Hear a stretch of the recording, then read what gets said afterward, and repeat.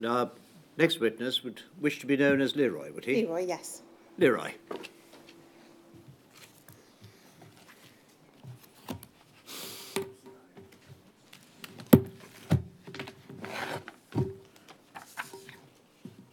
Please state your full name.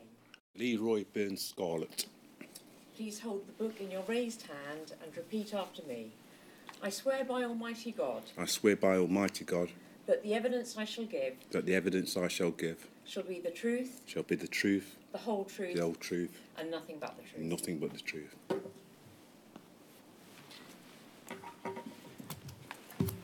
Leroy, in July 1982, you had surgery to your knee um, because a, a rather large piece of glass had become lodged in it. Is that Yeah. right? That's correct. Um, they'll come up on the screen in front of you in a moment, I hope, some photos of the scarring. It's 2644007, please, Paul.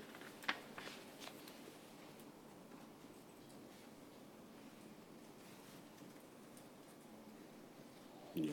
And we can get a sense in particular from the bottom right hand photograph of the size of the scar to your knee. Yeah. And that's the only time you've ever had surgery. Only time, yeah. And it's your understanding and belief that in the course of that surgery you were given a blood transfusion. Uh, Some form of blood, yeah. Yeah. Now we'll come back later in your evidence as to the, the basis for your belief, okay? But just to, what we established that in, as part of the chronology. Now you remember you were in hospital for some 10 days or two weeks following the operation, is that right? Yeah, approximately so, yeah. And after the operation, you underwent regular rehabilita- rehabilitation treatment for that knee Yeah. for a period of some months or a year. It wasn't quite a year, it's about a, it's a couple of months. Because I, I lived quite a distance from where the accident happened. I live in Nottingham, and it happened in Manchester. So I found difficulty getting the rehabilitation to Manchester. Now, from about 1984, you began to experience some physical symptoms, stomach problems, tiredness, restless legs, insomnia. What can you tell us about those symptoms? Yeah, um, it, it wasn't strong, strong, but it built up where I'd be sweating, uh, my legs I couldn't keep still at night, itchy legs, stomach, especially stomach pains, and I, repeatedly went to the doctor. Then I eventually was put down for barium meal and such, nothing from that. But It was only many years later, in July 2009, that you learned that you had hepatitis C. yeah, And if we just have on screen, please, Paul, 2644002.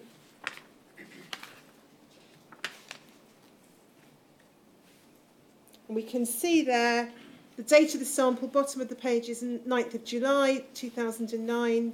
And we can see positive confirmatory hepatitis C results. yeah, You were told that diagnosis by your GP. yeah.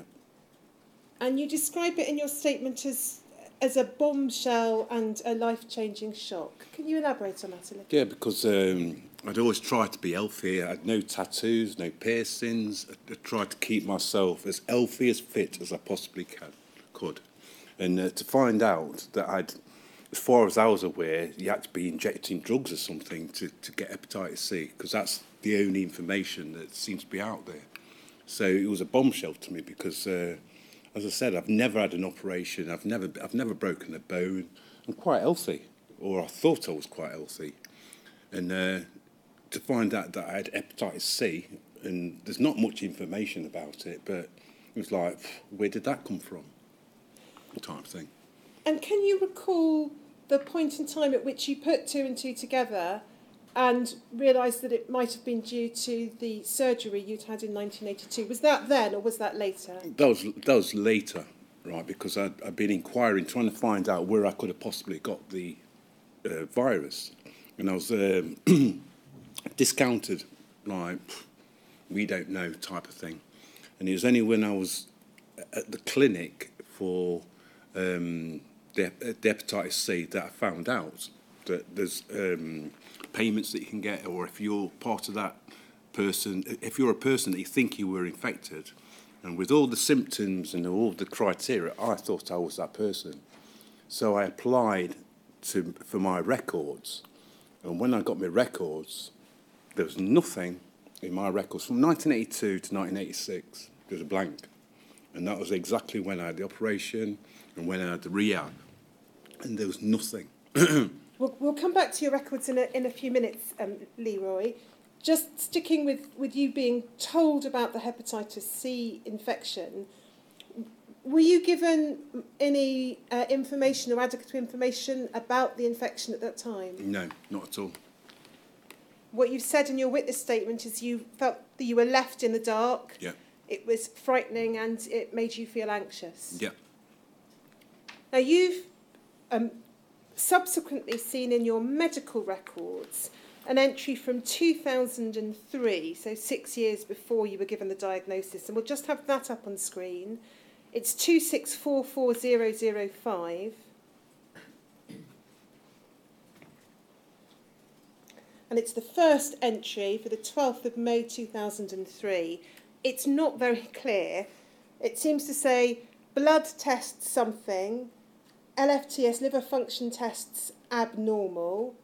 Um, it might say wants hepatitis test, and it's we've got hepatitis C written across. Was there any discussion with you, as far as you are aware or can recall, in 2003 about the possibility that you might have hepatitis C? Not at all. And you're sorry, carry on, Leroy. No, no, no. It was only I only became aware of that when I got my records, and that's six years later. And you're concerned that that may show that there was a significant delay of some six years in you being either properly tested or given the diagnosis of hepatitis C. Yeah. And that, you say very candidly in your statement, that's made you angry because had you known earlier, you might have been able to have treatment earlier or take steps to ensure that you were living as healthily as you could. Yes. Yeah. Information is is key.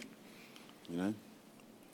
Now, the hepatitis C having been diagnosed in 2009, your GP referred you to hospital for treatment, and you underwent treatment with interferon and ribavirin, but that stopped after 12 weeks because you weren't responding. Yeah, it wasn't working because I had to take the. You had an injection, and I didn't know how to inject it, and sometimes it won't work. So it didn't work for that reason, I do believe. And what were the side effects of that treatment? It made all my symptoms worse. So the tiredness, the angriness, the sweatiness. It made everything worse. That, certain noises really set me on edge. Know, like a um, edge cutter, for example. My brother was cutting the edge, and I couldn't stay there because it just made me feel awful. It's hard to explain. So that, that treatment having had to stop because you weren't responding, you then participated subsequently in a clinical trial in February 2012. Yeah. And um, that was ribavirin and ritonavir. Yeah. And what was that experience like, that, that second course of treatment? When I first took it initially, the brain fog that I was feeling and experiencing, it was like it went, and I was clear. I could see for the first time in, in years. That only lasted a couple of days though. Then I went back to my same. Right, so I was still anxious, still angry. Um, the moody thing, right? Uh, that was there. I was angry all the time. Um, it stopped my restless legs, stopped the itching. That's it. But that course of treatment did clear the virus. As far as I'm aware, yeah. One of the side effects you suffered from the antiviral therapy was an exacerbation of dental problems. Yeah, lost my you tell us teeth. Lost my teeth.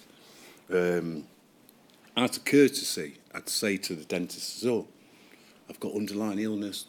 And once I said that to them, I never got treated again.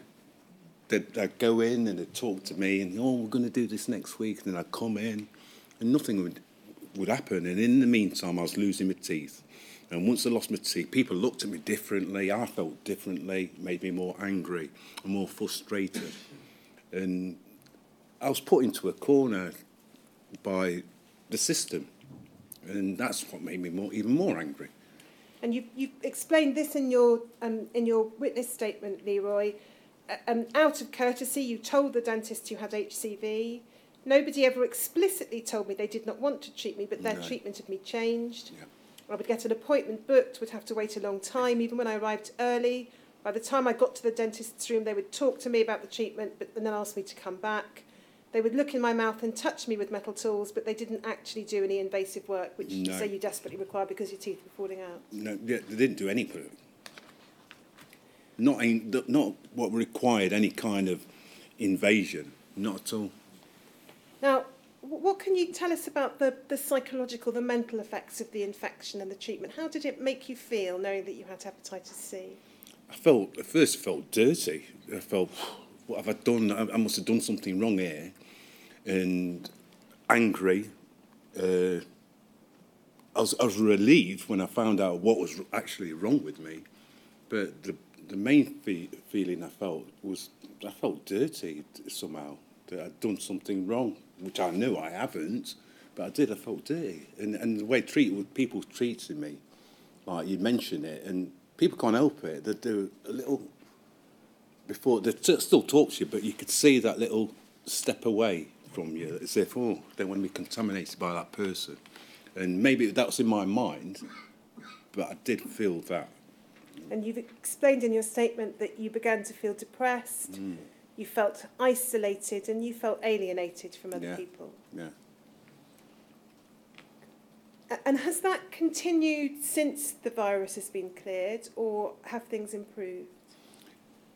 It's continued since it's been cleared, and the reason why it's continued since it's been cleared because uh, I applied to the Skipton Fund, yeah, for an interim payment, and it's partly their attitude and the attitude of my GP uh, that's made me still angry because there's no, there's no information out there about it, and all the information out there is all negative.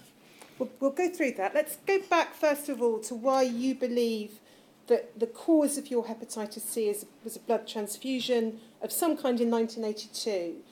And, and the, the first reason you believe that is because of a recollection you have of a conversation with a nurse Yeah. when you came round uh, from um, the surgery. Uh, and what you've said in your witness statement, Leroy, is this. Um, I was told what had happened by the nurse, and you say, although it was a long time ago, I'm quite clear that the way the nurse explained the process to me made me believe that during the operation, blood of some form had been put into my body. You say you can't remember exactly what she said because Yeah. it's some 40 years ago, Yeah. Um, and all the more difficult to remember without benefit of my medical records. But you're left with a memory of some form of Yeah. conversation which led you to believe you'd had a transfusion of blood of some kind. Yeah, because until that point, I'd, I'd nothing, no, nothing. A- And, and that's why it was relevant to me at that time because that had happened to me, right? Because I'd never had a stitch, never broke a bone, and that was the first time it happened. And like I says, when I came round, the nurse was explaining what had happened during the operation because I was unconscious, so I didn't see anything. But she explained, and part of that she did say about bloods, hundred percent, and that's why it sticks out.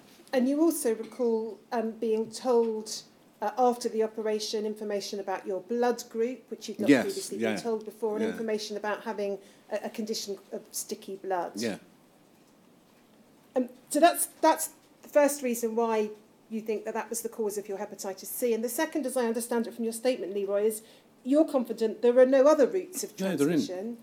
You've never taken intravenous drugs. no, You've never had a tattoo no, or piercing no, or shared razors no, or had any other surgery no, or anything else that would cause hepatitis C. No. And then also you say you, you, you began to experience the symptoms that you now believe were attributable to the hepatitis C a, a couple of years after that surgery. Yeah, in the eighties, right? But was, at that time I was young, so I just bounced through it and ignored it to a degree. After I had the the uh, barium meal and says, "Oh, might have an ulcer or something. Don't eat spicy foods." I didn't eat spicy foods anyway because I was a veg, so I just carried on with my life. But as I said, as the years progressed, that restless legs, that moodiness, it continued, and and to the end where I was so tired. It's untrue. It's hard to explain. It's like just tired all the time, and I'd never been tired. That's one thing, and it just got worse and worse and worse. Now you've, you've observed that there is this absence of, of medical records for the relevant time. You, you have got quite a substantial quantity of medical records Yeah. which you've provided to the inquiry. Um, but what's missing are records from about 1979 through to about 1985. Is that right? Yeah, yeah, yeah. It's exactly around the time when I had my operation. And there are three lots of records that you think should exist. Yeah. GP records. Yeah. You've got lots of GP records, but there's a gap for that period. Yeah. Uh, and then in terms of hospital records, you've tried to get your records from 1982 from the Manchester Royal Infirmary. Yeah. What's the response been? Uh, one, there's been two responses. One response was uh, if the patient doesn't return after eight years, we destroy uh, destroy records. And the most recent one is uh, the hospital records don't go back to 1982. And I thought that was insulting. Um, and we've got one of those responses um, that we can put on screen. 2644016, please, Paul.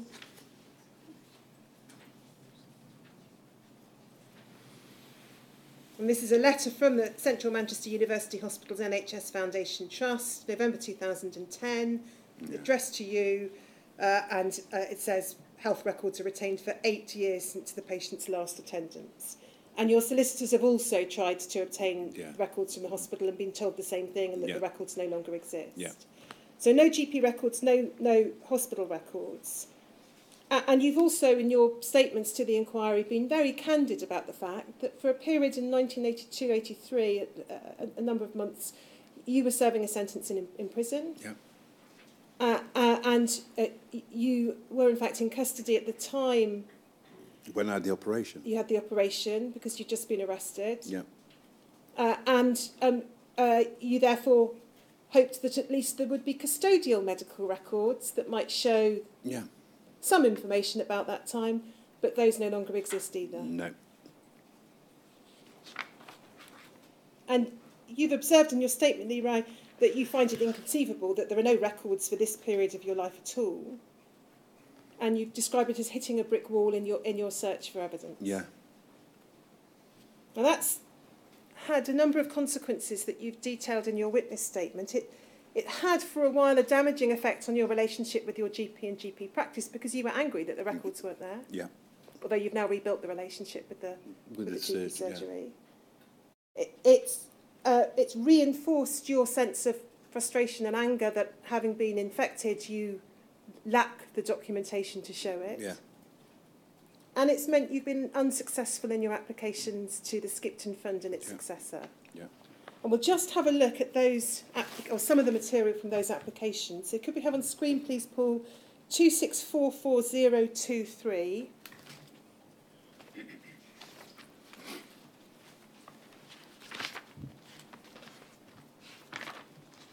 And we can see this is a letter of the 27th of July 2011.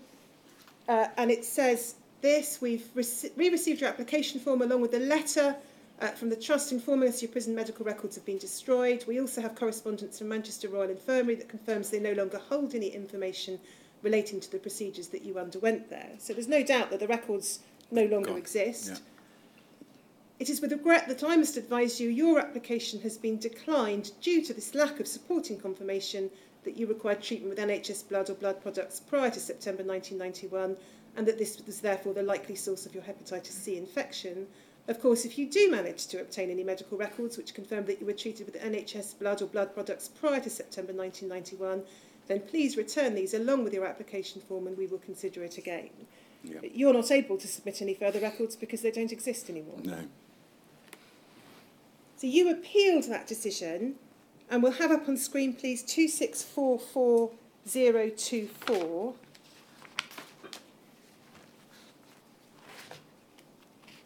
This is a letter from the Skipton Fund Appeal Panel, and we'll look at the bottom of that page and the penultimate paragraph. In order to succeed on an appeal, the appellant must satisfy the panel that it is probable that is more likely than not that the infection with hepatitis C was indeed caused either directly through treatment with NHS blood or blood products before the 1st of September 91 or indirectly by contact with a person who was so infected.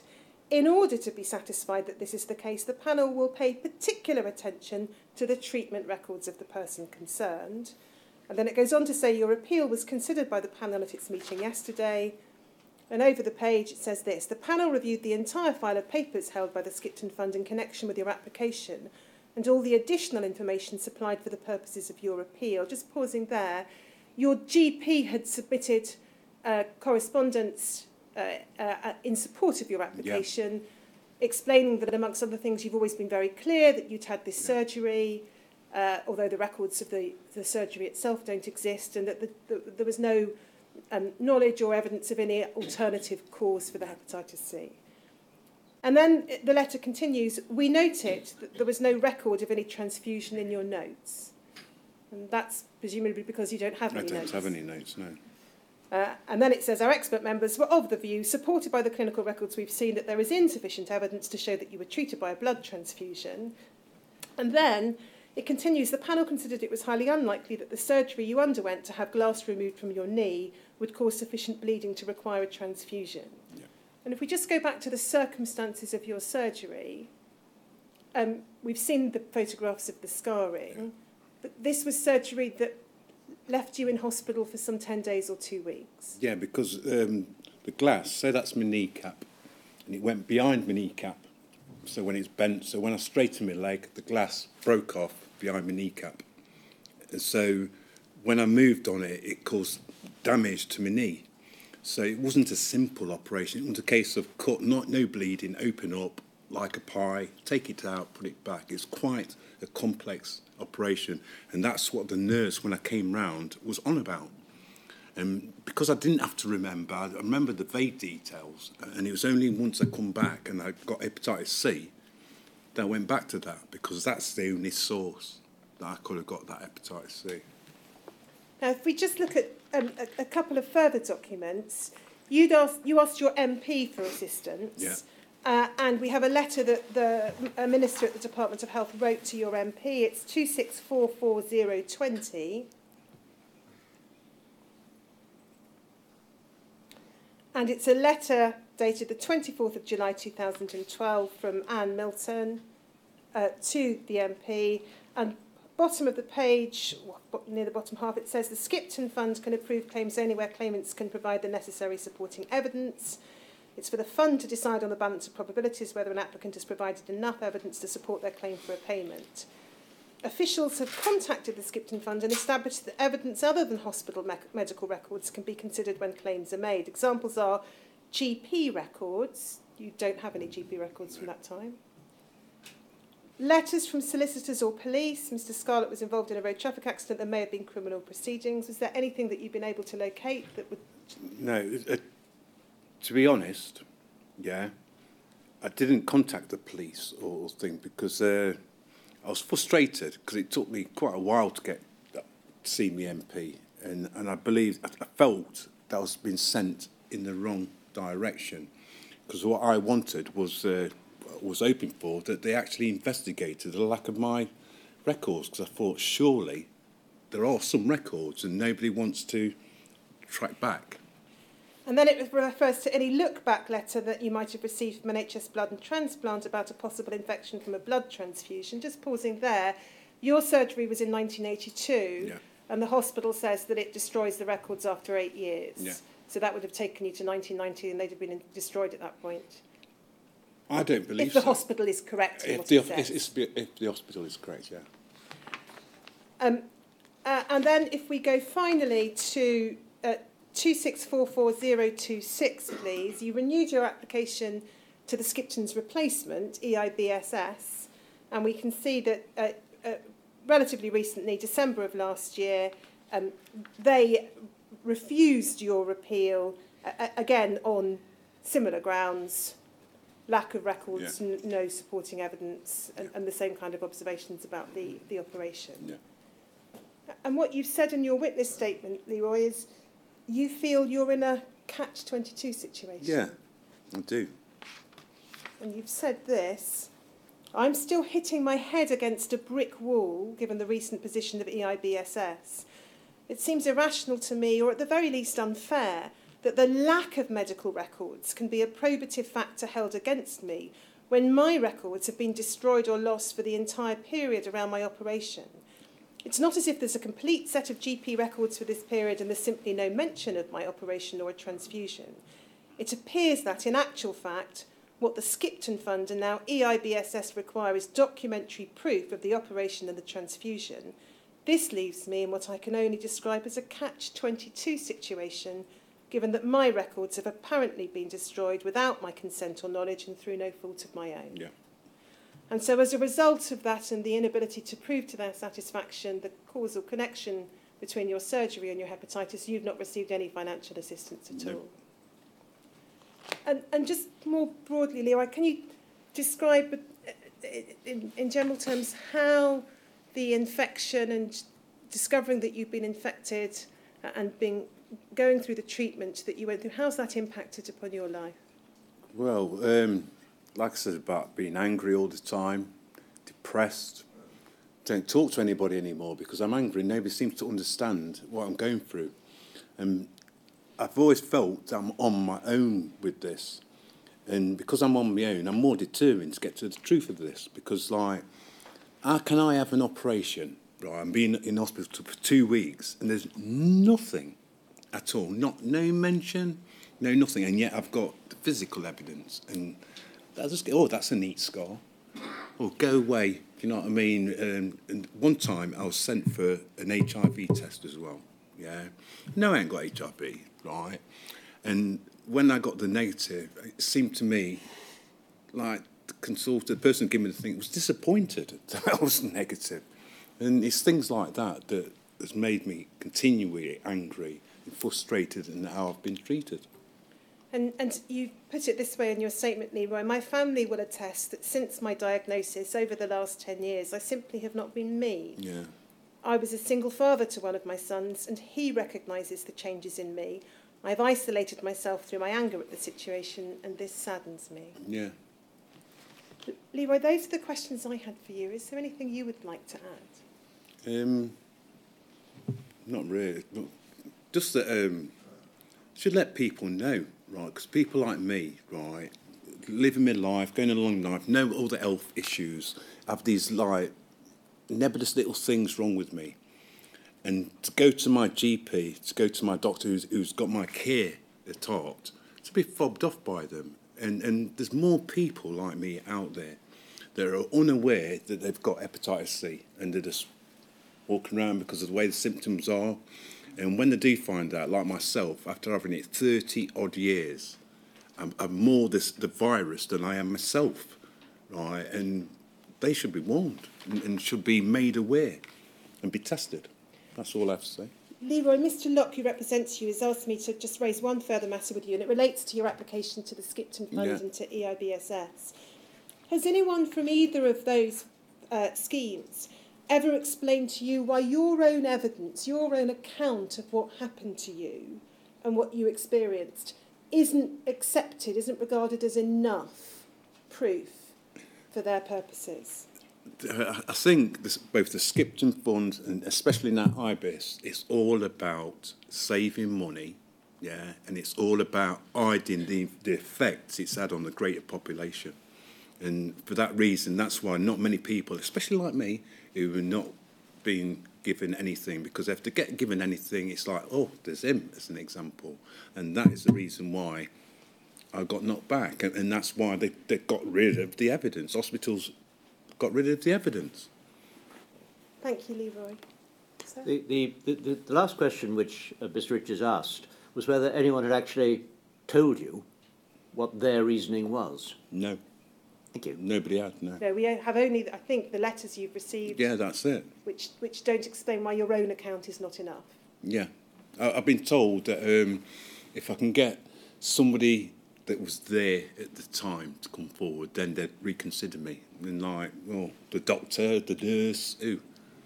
You know? Thank you.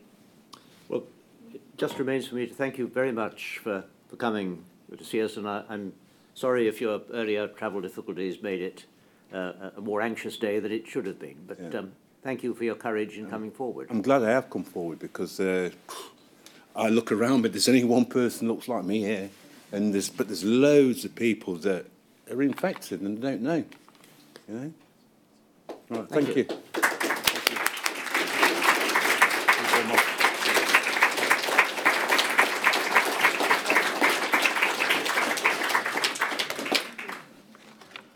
That uh, ends the proceedings for today. Uh, tomorrow uh, is 10.30, is it? So it is. Uh, and what do we have tomorrow? Um, we have, first of all, um, um, a, a, an anonymous witness, Mr. M. Um, we then have Margaret Madden, and then we have two witnesses giving evidence to, together, Laura Ryan and Robert Ryan. Thank you. So tomorrow, 10.30.